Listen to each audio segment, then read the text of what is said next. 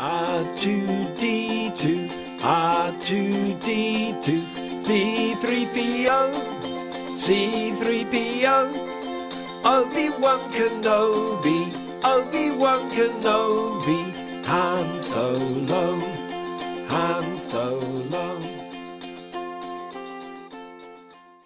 Hi, I'm Mike Jackson, and uh, welcome to Uke'n Play Ukulele for Absolute Beginners. Lesson two.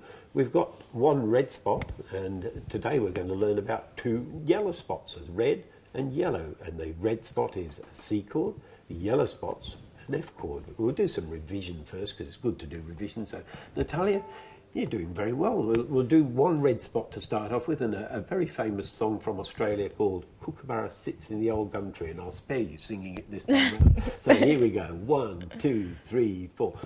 Kookaburra sits in the old gum tree, merry, merry king of the bushes he. Laugh, Kookaburra, laugh, Kookaburra gay, your life must be. Or Kookaburra sits on the electric wire, jumping up and down with his pants on fire. Ouch, Kookaburra, ouch, Kookaburra hot, your tail must be. That's the one red spot. Let's have a bash at two yellow spots now. That's with your pointer finger and your second finger. You're doing well, well done. And when you're pressing on the strings, remember you don't have to push the strings through the fretboard. You just gently touch the strings down onto the metal bit, the fret.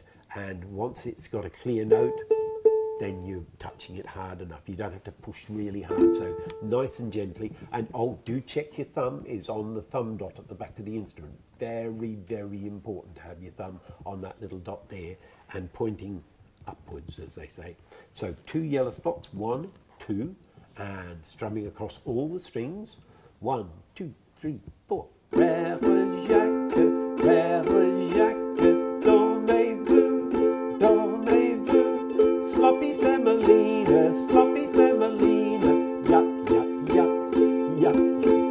my French there. R2D2, R2D2, C3PO, C3PO. Obi-Wan Kenobi, Obi-Wan Kenobi. Han Solo, Han Solo. We could go back to one red spot again and do our little row, row, row your boat again. Here we go. One, two, three, four. Row, row, row your boat gently down the stream.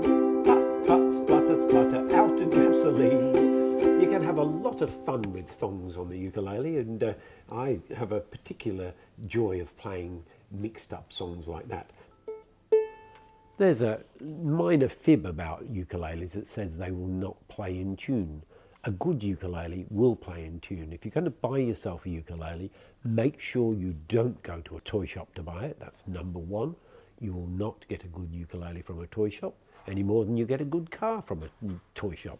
Um, you'll get a toy ukulele. Um, the next thing um, is um, it will need tuning um, regularly. I just tuned this little fellow, and in fact, what I might do is, is briefly tune Natalia's instrument as well. These two instruments are both very fine beginner level ukuleles. You don't have to spend a fortune to buy a ukulele, but as I say, do make sure you buy a working ukulele, not a toy. Uh, there are an awful lot of ukuleles out there that don't work properly, so make sure you get a good ukulele. This one, just tiny, tiny little adjustments, and it's back in tune again. There we go. And this, children, close your ears. This is a wedgie.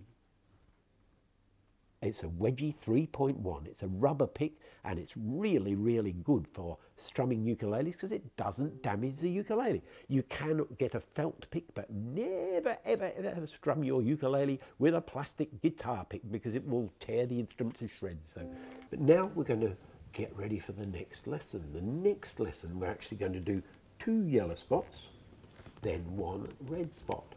So it starts on two yellow spots and then goes to one red spot. So between now and the next time you look at the video, you can practice going yellow, red, yellow, red. You don't even have to strum while you're doing it. You just get used to the fingers going between the two without thinking about it. And don't move your fingers too far away. If you lift your fingers right off like that, they've got to go wacko the chook down there again, and it takes a lot of time getting there. So Just lift your fingers a little way off and then back on again.